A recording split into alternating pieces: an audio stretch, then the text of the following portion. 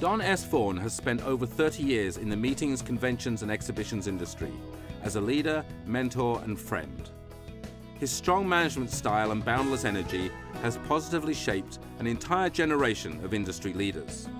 I started in 1960. I came right out of college and had an opportunity to manage a uh, youth organization on the college level and run their convention and, and part of Kiwanis International and then ended up as convention manager.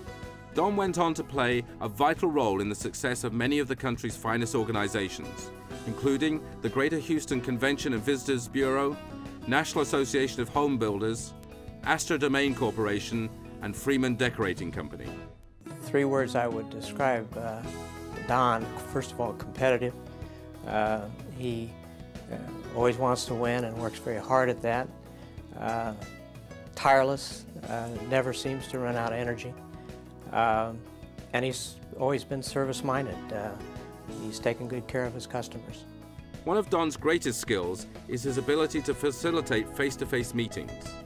He has led many companies in the successful development of lasting partnerships with customers worldwide. The best part of this business is the people business. It's a, it, you really uh, have an opportunity to interface with many different kinds and groups of people and the, the whole idea of bringing people face to face for meetings and making uh, successful events uh, out of their organizations or their corporations is very important. Throughout his career, Don also became actively involved with numerous meetings, conventions, and exhibitions industry associations. He focused on education and the development of professional standards for all aspects of the exhibition industry. As a mentor to suppliers and planners alike, Don shared his enthusiasms for the profession and encouraged many to make a career within the industry.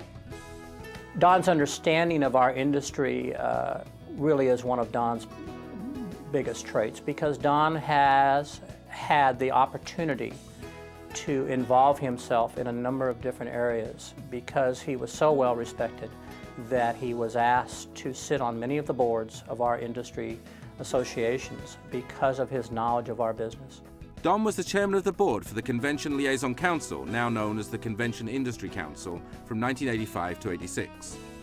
He represented a record number of industry organizations within the CIC, including the American Society of Association Executives and the International Association for Exhibition Management.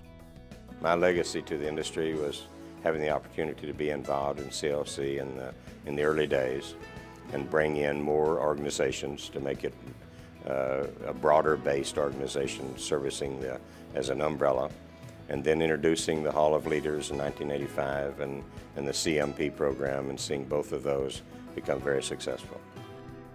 Don was also on the original steering committee of the Trade Show Bureau, now known as the Center for Exhibition Industry Research. He became its first president in 1978.